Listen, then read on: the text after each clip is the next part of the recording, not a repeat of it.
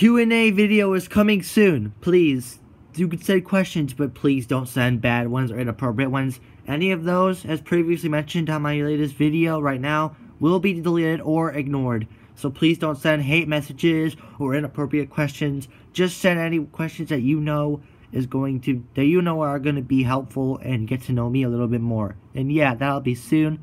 Like I said, please don't send any inappropriate questions. And yeah.